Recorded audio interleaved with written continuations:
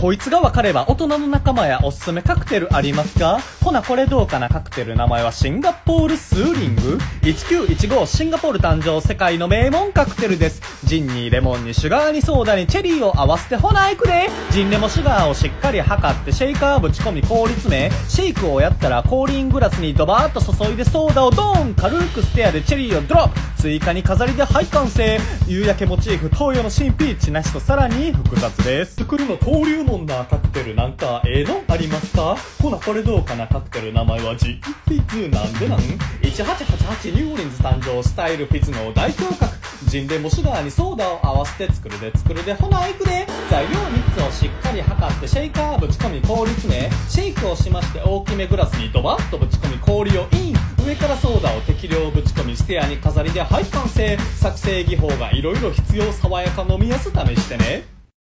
終わりを飾るにベストなカクテルなんかええのありますか？ほなこれどうかな？カクテル名前は XYZ これでしまい。別名最後の究極のカクテルまさしく締めにふさわしい。ラムにホワイトキュラソーレモンを合わせて作るでほな行くで。材料3つをしっかり測ってシェイカーの中にぶち込んで氷を詰めたら準備は完了。がっつりシェイクをいたしましょう。カクテルグラスに注げば完成。今年も一年お疲れちゃん。カクテル言葉は終わりの始まり明日からいい年作ろうぜ。